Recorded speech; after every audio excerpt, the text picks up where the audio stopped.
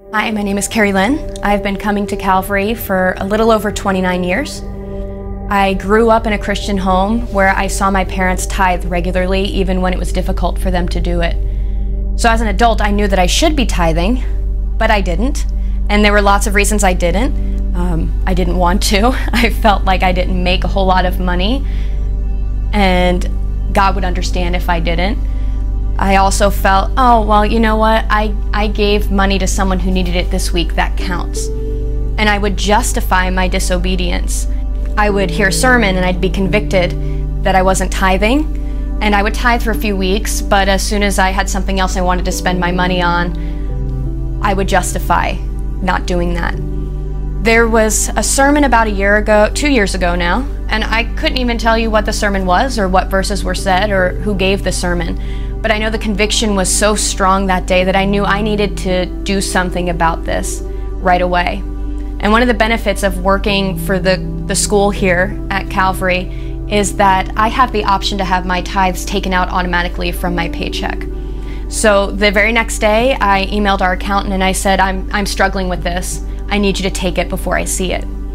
And it was a rough few weeks. That first paycheck, I saw how much had come out, and I was like, ooh, didn't think it would be that much. And at that point, I was really glad that it was something that would be automatic and it would hold me accountable because it wouldn't be something that I would willingly do every week, knowing myself and knowing my history. I knew I wouldn't do that willingly.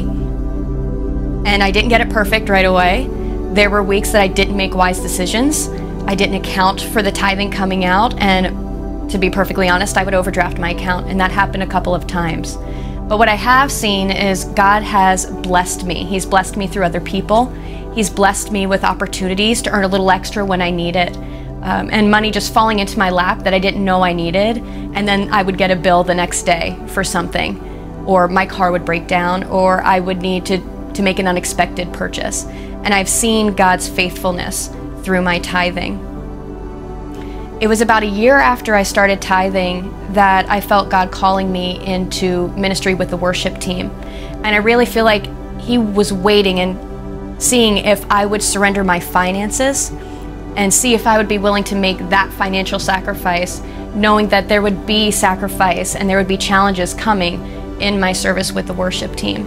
My biggest justification of not tithing was I work for a nonprofit, I don't make as much as a lot of people. The church probably doesn't even notice my, my lack of tithing. It doesn't even hurt them. But when I look back on that, if a thousand people give just $100 a month, that's $100,000 that goes into our church's budget to serve our community, to serve our church members, and to spread God's mission. So it's a big deal. And I know that God is going to take whatever we offer and He's going to multiply it because that's just what He does. So I would encourage people, no matter how you're feeling about tithing, to give whatever it is you can because God will use it.